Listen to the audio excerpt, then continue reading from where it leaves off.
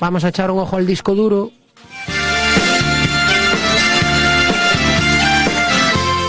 Alex Varela, ¿qué tal? Muy buenas. Hola, Fran, ¿qué tal? Hoy nos vas a hacer un recorrido por algún rincón de nuestras pesadillas o... Hoy toca ¿A dónde nos llevas? Hoy toca un poquito de pesadillas, Sí. yo lo siento mucho, pero A toca ver. esto. Eh, y es que hoy, 7 de diciembre, eh, toca, bueno, no, toca no, es el aniversario, el número de aniversario concretamente de la victoria número 500 del Depor en primera. Mm. Yo me enteré de este dato y lo primero que se me ocurrió fue averiguar cuántas victorias lleva ahora mismo el Depor. Y son 566. Y lo segundo que se me ocurre es hacer una media de las victorias por año desde aquel día hasta hoy. Si quitamos las dos temporadas de segunda, eh, nos damos cuenta de que la media de victorias al año del Depo desde este momento es de 9. Que si, si quitas las de segunda, esto queda... Es de. 9, es un número, un número muy malo, muy malo.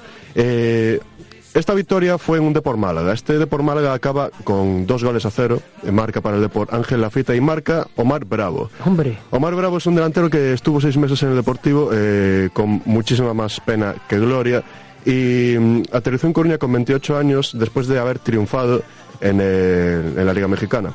Y su apuesta, pues, aunque tardía, eh, pues tuvo lugar.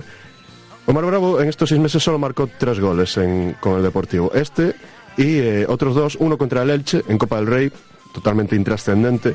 En este partido sale de suplente el mismo minuto en el que Saúl Fernández, Saúl no confundir con el de ahora, con Saúl García. Saúl Fernández fue un jugador de banda que estuvo en el Depor Sí. eh, unos pocos años, eh, que por cierto acabaría retirándose prematuramente. una lesión de tobillo... exacto. sí, sí, crónica y que lo dejó cao al chaval. Sí, eh, y el otro gol de Omar Bravo fue contra el Sevilla en Liga, en el Sánchez Pizjuán, en un eh, Sevilla en el que, por cierto, jugaba Fernando Navarro, con el que hablabais antes, y también Aldo Dusser, que, era, bueno, que es un jugador histórico del Deportivo. Omar Bravo solo participa en nueve partidos, en los que, curiosamente, es expulsado dos veces. Bastante, un dato bastante Tenía, tenía un mal día. Mira que era pequeño, además, el tío, ¿eh? Pero venía cabreado de casa. Sí. Pues sí, eh, después de estos seis meses, pues el Depor eh, se deshace de él, así, sin Lo, medias lo tintas. hace desaparecer. lo hace desaparecer del mapa y hace escala en varios equipos de México y de Estados Unidos. Uno de estos equipos de Estados Unidos es el Phoenix Rising, que no juega ni siquiera en la categoría más importante del fútbol estadounidense, que es la MLS, sino que juega en lo que viene a ser eh, la tercera división. No son divisiones, son ligas independientes, pero es una liga de esa categoría. Es la, la Liga das Mariñas de, Sí, pues, de parecido, Estados sí. Unidos. A Copa de la Costa América. Exactamente. Pues tal cual. En este equipo coincide con un delantero que, fuera bromas, es de los mejores delanteros eh, de la historia reciente del fútbol, que es Didier Drogba. O sea que muy pocas personas en este mundo pueden decir que han jugado con Didier Drogba y Omar Bravo puede decirlo, aunque Didier Drogba en este equipo pues estuviera más que en la cuesta abajo de su carrera. Tuve- tenía 38 años y era... mm, Básicamente seguir disfrutando del fútbol sin presión, eso es lo que hacía Drogba. Pero lo, lo que hace mucha él. gente, voy a hacer una última marea, a coger pasta, que también eso Pues, sí que suelen pagar bien y se lo tomo ya pues de otra manera, Drogba. Tal cual. Eh, en arroba Curna Deportiva podéis ver una foto de, de Omar Bravo con Drogba, que al parecer se hicieron súper amigos. O sea que al menos le sirvió este, este viaje a Omar Bravo para conocer a gente importante.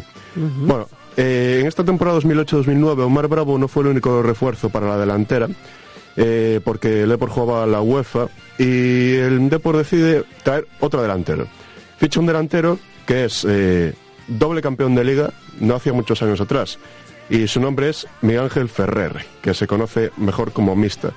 Mista, sí, es doble campeón de liga con el Valencia y fue un- uno de los delanteros estrella de este equipo. Fue Pichichi, ¿no? Sí.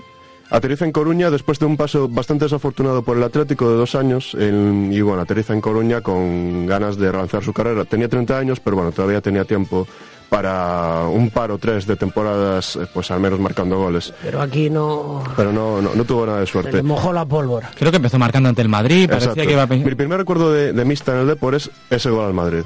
Que además el Depor acaba na- ganando ese partido y yo ahí pienso, bueno, eh, le marca el Madrid, gana confianza. Esto va, a ser, esto va a ser impresionante. Mi segundo recuerdo es un penalti que falla contra el Bran en la última ronda de clasificación a la UEFA, que hace una especie de, de zigzag en la carrera que se me quedó marcado en la mente.